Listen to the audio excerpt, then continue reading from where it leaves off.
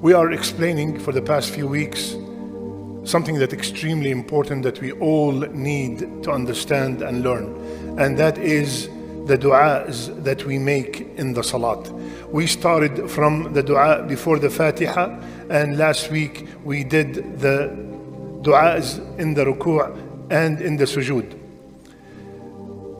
After we finished the dua of the sujood, there are, like I mentioned before, there are two positions where people rush the most in the salat. Number one is when they finish Sami Allahu liman hamida, they go straight to sujood without the body going back to its original position. Rasulullah said, You have to stand until you are peacefully standing. And here, where many people jump and dive into the sujood. The second fastest position is between the two sajdas. Someone make a sajda and then they get up and bam, they go down to the second sajda right away without any pause between the two. What is the dua between the two? We took it before just because of the series. Many people will be watching the series, and I advise you to always watch the series every time you forget.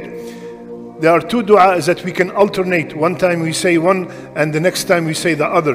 Rabbi ghfirli, Rabbi ghfirli. Calm down. And when you do that, it eliminates that problem that we're talking about of being in a rush. Rabbi ghfirli, Rabbi ghfirli. Or the second option, Rabbi ghfirli, warhamni, wahdini, wajburni, wa'afini, warzuqni, warfa'ni. I gave so many talks about this Subhanallah. If this dua is answered, Allahu Akbar. Ya Allah, forgive me.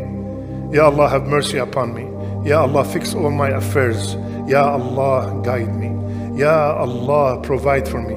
Ya Allah, elevate me. Subhanallah. All of them between. When you say this, how could you rush? Because you're going to say it in a way that you are asking for it, right? رب اغفر لي وارحمني واهدني واجبرني وعافني وارزقني Subhanallah. And then you go to the second sajda. Today, our main talk, because this I explained before, is Subhanallah, something that many of, of us do not know. What does at-tahiyyat mean? When we, myself and you, learned how to pray, we were just taught this is the position where you say the tahiyyat. I don't remember anyone teaching me what does the tahiyyat lillah was salawat wa tayyibat. All we do is just we repeat. We have no clue. And that's one of the reasons that we are not having khushu' in our salat. Because we are just repeating words that we have no clue what they are. Ibn Mas'ud radiallahu anh, he said, we used to say in the salat, As-salamu ala Allah min ibadih. We used to say, Salam on Allah from His ibad. Rasulullah heard him and he told him, Do not say this because Allah is as-salam. Instead, say, and then he taught them and the whole ummah till the day of judgment, say, التحيات لله والصلوات والطيبات.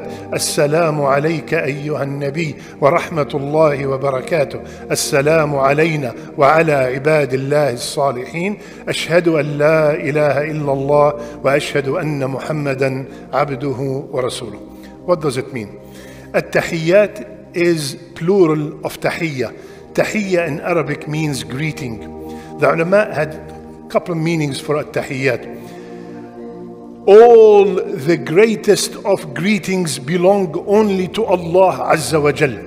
Any greeting, any ta'zeem, any tawqir, any taqdeer belongs to Allah Azza wa Jal and that is all under at-tahiyyat. When I see my brother, when I end my message, I say tahiyyati lak my tahiyyat, my greetings to you. But the minutes you add alif lam to the tahiyyat, that means it's only to Allah Azza wa Jal. I cannot say at-tahiyyat li Ahmad, at-tahiyyat li Mahmud. No, tahiyyati li Mahmud, yes. But at-tahiyyat, when I add alif lam, it only belongs to Allah. Where, what is the verb from at-tahiyyat? You hear some people saying sometimes greeting each other by saying hayyak Allah, right? Hayyak Allah. This is a good, excellent tahiyya. This means التحيات البقاء الدائم the eternal life, and that only belongs to Allah when you add alif lam to it. Only one who will ever stay is Allah Azza wa Jal. Al-Hayy alladhi la yamut. At-tahiyyatu lillah. At-tahiyyatu lillah. Another opinion, it says that at-tahiyyat includes all the verbal ibadat. All the verbal ibadat belong to Allah Azza wa Jal.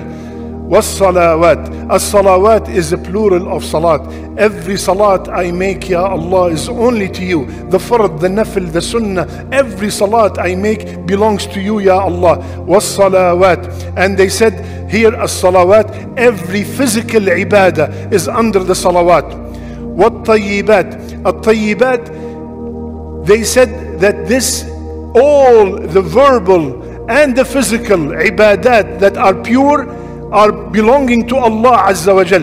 At-tahiyyatu. All the best of greetings belong to Allah. All the salawat that I make, I do not make it to anybody except to Allah Azza wa Jal. What tayyibat? And some said this is the financial ibadat because Allah is tayyib and He only accepts what's tayyib. All the good, all the pure a'mal, all the pure words. Some ulama said at-tayyibat is subhanallah walhamdulillah wa la ilaha illallah wallahu akbar. At-tahiyyatu was salawat والطيبات all of them belong to Allah عز وجل then السلام عليك أيها النبي ورحمة الله وبركاته We have been deprived in this dunya of greeting Rasulullah sallallahu alayhi wasallam live. May Allah grant us this opportunity in the akhirah. So when you say it in the salat, wallahi it is disgraceful. التحيات لله والصلوات والطيبات السلام عليك يا نبي رحمة الله وبركاته Would you dare say this kind of salam to Rasulullah صلى الله عليه وسلم if he's standing in front of you? السلام عليك يا نبي رحمة الله وبركاته السلام علينا وعلى عباد Would you dare say that? You are actually sending salam to Rasulullah sallallahu alayhi wasallam. At this point specifically, your words traveling 8,000 miles to go to Medina. Like Rasulullah sallallahu alayhi said, every time you say salam to me, Allah will assign angels that will take this salam and present it to me. Do you think your salam that you are making in this salat worth being moved from here all the way to there? With that kind of salam, that speed in the salam that we make. You are making salam to Rasulullah sallallahu alayhi wa sallam. Assalamu alayka ayyuha nabi wa rahmatullahi wa barakatuh. What does the salam? I am making dua. I am making dua for Rasulullah sallallahu alayhi wa sallam. I'm making dua of salama to Rasulullah sallallahu alayhi wa sallam. I'm making dua of rahmah and barakah to Rasulullah sallallahu alayhi wa sallam. Have respect when we are saying this dua we rush and speed because we want the salah to be over. And that's why we are not finding any change in our life. Because Allah promised that the salah will prevent us from falling into sins and major sins. But I pray and I deal with riba. I pray and I do not wear the hijab. I pray and I sell alcohol. I pray and I uh, uh, drink and I pray and I gamble. Why? Because something's wrong with that salat. Something's wrong with the salat. It's not being given its proper uh, rights. السلام عليك أيها النبي ورحمة الله وبركاته السلام علينا وعلى عباد الله الصالحين Listen to what Rasulullah ﷺ said about this statement. السلام علينا. Usually, if I want to say salam to myself, I say assalamu alayya. Why am I saying it in plural? When I say salamu alayna in the salat, I am sending salam to everybody who's praying with me in that jama'ah. Assalamu alayna. And to who? And Rasulullah said, every time you say Assalamu alayna wa ala ibadillahi salihin, your salam will get to every righteous person in the earth and in the heavens. Your salam will get to every abd salih, every righteous person on earth will get that salam. Assalamu alayna وعلى عباد الله الصالحين and then we utter the shahada so many times per day to confirm that we are Muslims to confirm that we are muwahideen ashhadu an la ilaha illallah the word the reason the, the, the creation was uh, created because of La ilaha illallah. The Jannah was created because of La ilaha illallah. The Anbiya were sent because of La ilaha illallah, and I utter it every single day, many times to confirm my Shahada. That's one of, one of the kids, when we have so many Shahadas here, a kid, he came to me at nine years old, he said, Sheikh, I don't remember taking my Shahada. I said, Ya Habibi, you take your Shahada every single day so many times.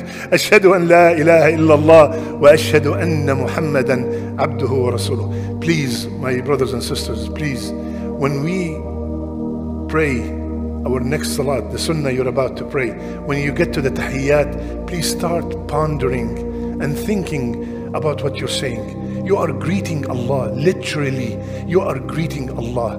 Literally, you are sending salam to Rasulullah. Remember when I gave the whole workshop about improving our salat, I said one of the keys, one of the secret keys to enjoy the salat and to change it completely, drastically, is tell yourself, I am talking to Allah. I am talking to Allah. So when I am saying Lillah, I am greeting Allah Azza wa Jal because the Salat is a meeting between me and my Creator. So let's have some adab. Let's have some adab when we are greeting Allah and when we are greeting our beloved Rasul Sallallahu Alaihi Wasallam.